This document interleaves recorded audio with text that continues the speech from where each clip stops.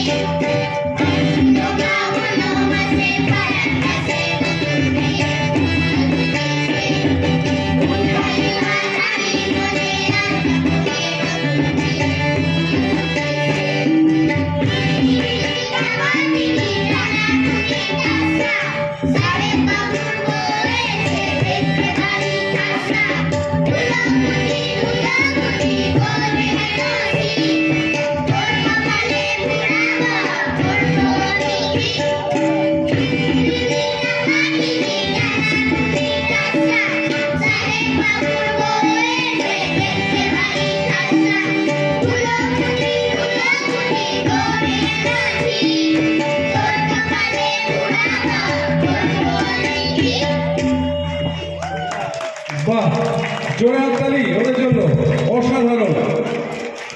আগে আন্দাজ করেছিলাম, আমরা কিছু একটা উপহার পেতে চলেছি এবং দীপু যখন বলল যে